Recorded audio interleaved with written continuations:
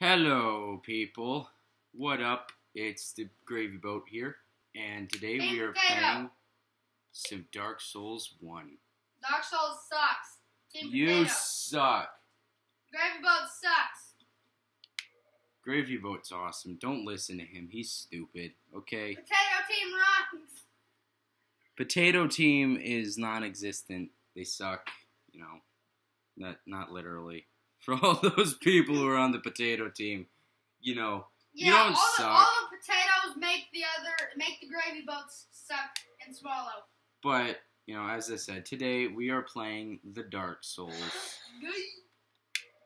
considerably one of the you know most difficult games that you can get but you know what are you gonna do um, down in the comments section below uh, tell me how long i should make these videos but um, yeah so we'll make a new character um, we'll go ahead and name him joke. uh, let's do Gravy boat. Um, yeah, Gravy Boat. No, Gravy Man. We'll do Gravy Man. Gravy. I will be here too. Uh, he's obviously a guy, because, you know, I'm a guy. Sure No about that? offense to the women out there. Yeah, we still Um, love you. We've got the Warrior, which is uh, high strength and dexterity. We've got high HP, solid armor, not easily toppled.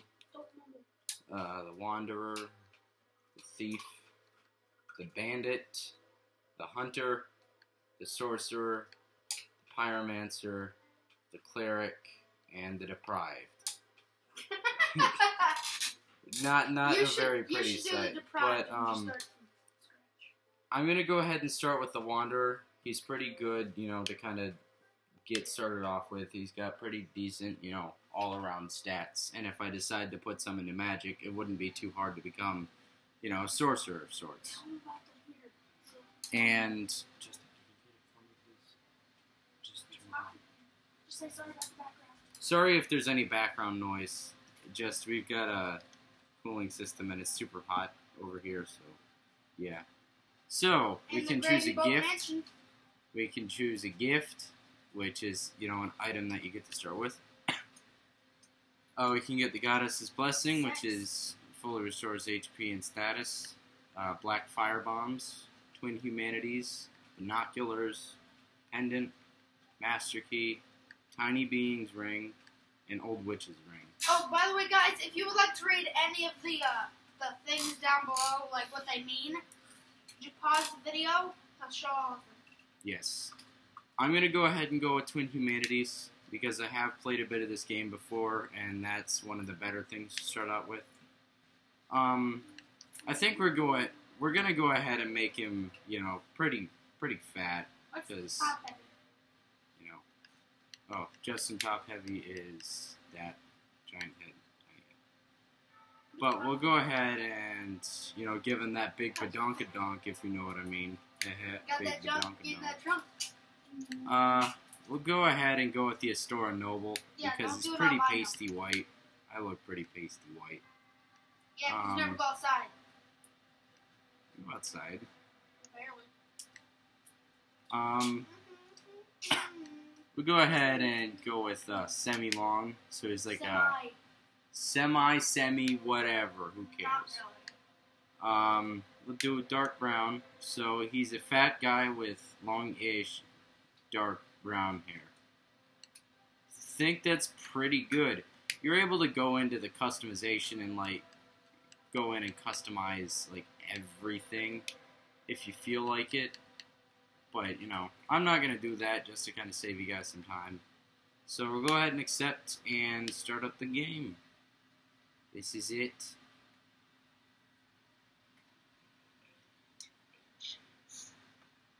The world was unformed, shrouded by fog.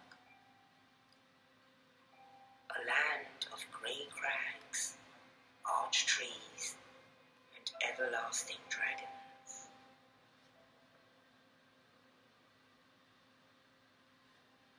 But then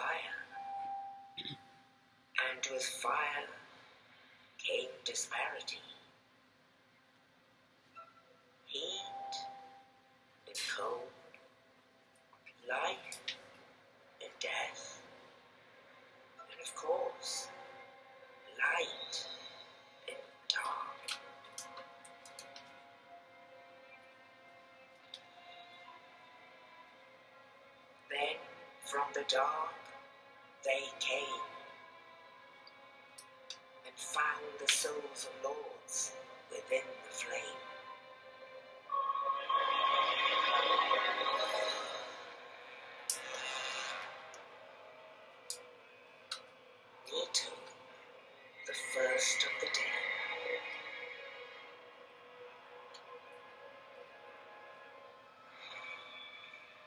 The witch of Izalith and her daughters of chaos.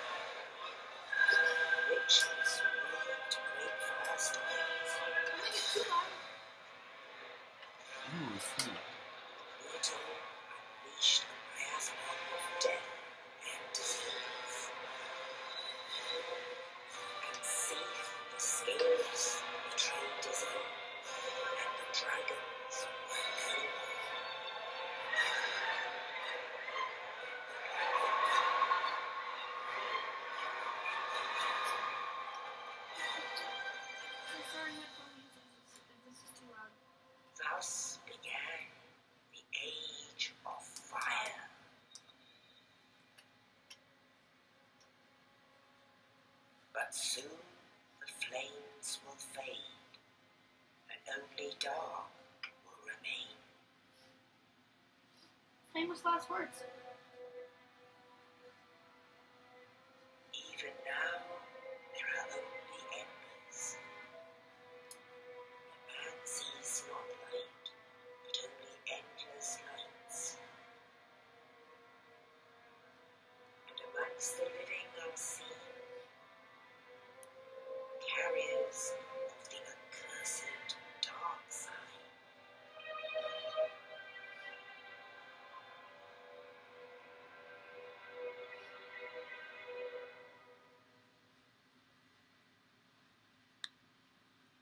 Alright, now I'm pretty sure that was it of the uh, talking in the first cutscene. But as I said, sorry about the sound uh, problems. If that was too loud or too quiet, you know, I can't do much about it at this point in time. We're still waiting to get a graphics card. But I'll try to be quiet whenever there's somebody talking and it's, you know, important enough. Yes, indeed. Oop, sorry. The Darksign brands the undead.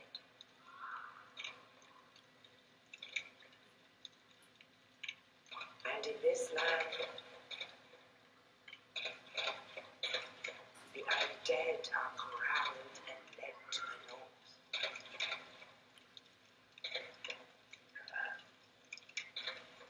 Where they are locked away to await the end of the world.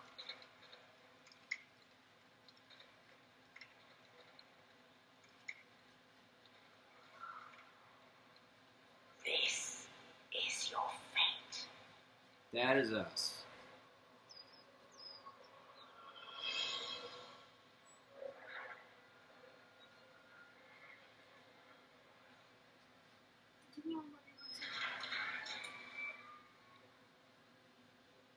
And there's our ugly face.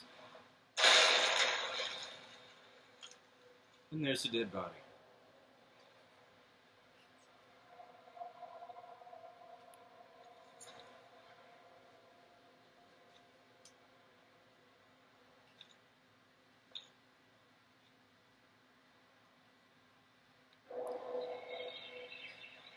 Alright, so here we are in the middle of the game.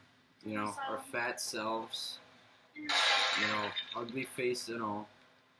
And that guy up there dropped down a body that has an item on it. And items in this game can be told when you see like a glowing white kind of mist above a dead body. Well, You get the point. So we just got a dungeon cell key, which will actually let us out of the dungeon if I press the right button. so here we are, walking down you know, dungeon hallway. Now these guys are hollows. They're enemies, but they don't attack when they first see you in this place. All we have to do with right now is what's left of the sword, obviously. And there's a fat dragon, you know, because fat dragons. So, um, but we're able to sprint by holding down B, and we're able to roll by tapping B. And for a fat person, we roll pretty fast.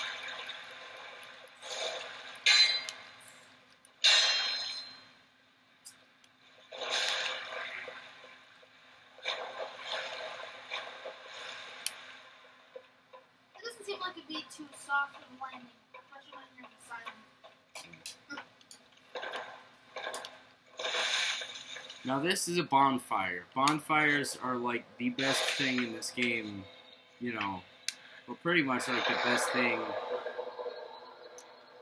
It's pretty much the best thing since, you know, chicken and waffles and stuff. But they serve as checkpoints, so whenever you die, you come back to the bonfire.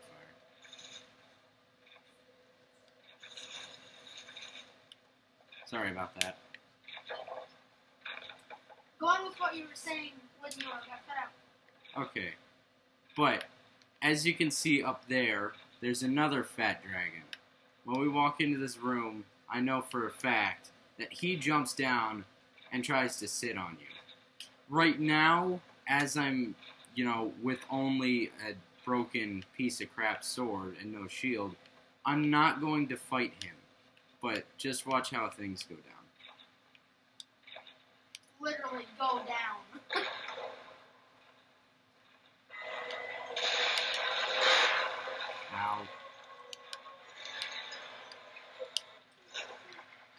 And we made it out alive. And we almost died, so that's a good thing. Burn fire. Now that mist that shows up whenever you sit down and rest at a bonfire respawns all the enemies in the area. What we just picked up there was a leather shield, which, you know, will help because it's able to block damage at the cost of your stamina. Which is the green bar in the top left. And the red bars obviously help. And right there we picked up a scimitar, which is a curved sword.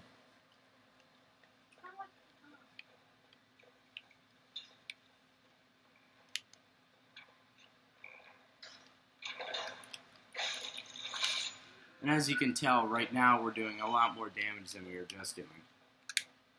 Now you're able to two-hand weapons in this game, and right now I'm two-handing the scimitar. And when you two-hand weapons, it makes them do a little bit more damage. And that's the guy that gave us the stuff. So up here, I- did you only lose that much? because it fell, damage from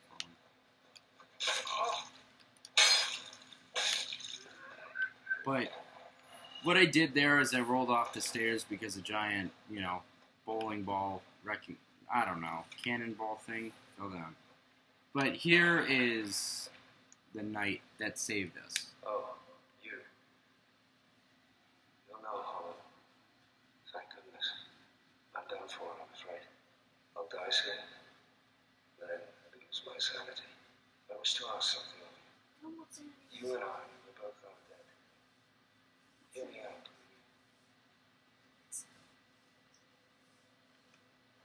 Um, we'll go ahead. Regrettably, I have failed in my mission. But perhaps you can keep the torch lit. There is an old saying in my family. Thou who art undead art chosen. And thine exodus from the undead asylum maketh to the land of ancient lords. When thou ringest the bell of awakening, the fate of the undead hath shot. But now you know. And I can die with hope in my heart. Oh, one more thing. Here, take this. An Estus flask. An undead favorite. What? Wait, no. What's oh, an Estus and flask? this.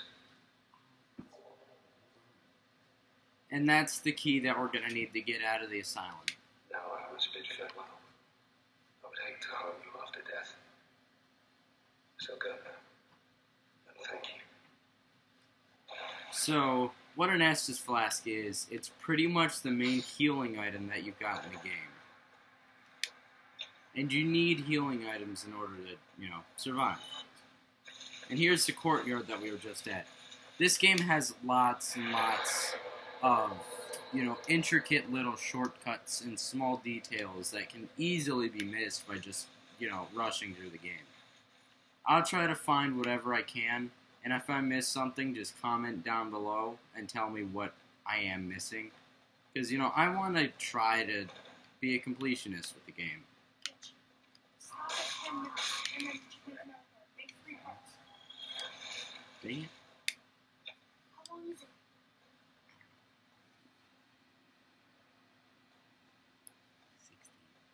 But we'll go ahead and leave this video off here. Thank you guys for watching. Leave a like and subscribe down below. And I'll see you guys in the next video. Peace.